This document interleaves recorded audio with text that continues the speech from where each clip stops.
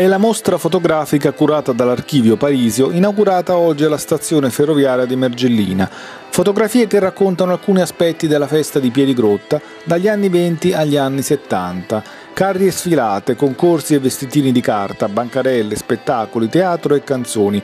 Qui vedete addirittura un'esibizione di E a Mario e tradizioni alla luce delle luminarie e dello spettacolo dei fuochi pirotecnici.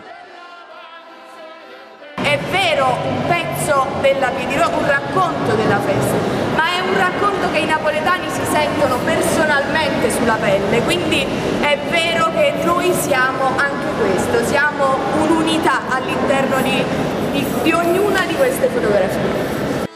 Il Comune di Napoli, in avvio della programmazione della nuova festa di Piedigrotta, tra tradizione e sperimentazione propone una ricerca del senso antico e contemporaneo, rappresentando anzitutto l'identità di una città fiera di sé, ma che non vuole rimanere piegata nella sua memoria. Si celebreranno culti sacri e profani e si darà spazio alla creatività del quartiere, partendo appunto da una memoria antologica come questa, che ricorda come Piedigrotta sia un concetto che unisce turismo, cultura, storia e religione, ed oggi anche uno spirito che vuole convivere con gli esperimenti delle nuove generazioni.